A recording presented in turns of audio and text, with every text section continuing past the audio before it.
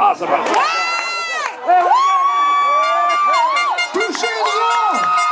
Le ballon a été échappé sur le sac du corps. Récupéré par le numéro 42 qui rentre dans la zone des buts. C'est un touché pour Winnie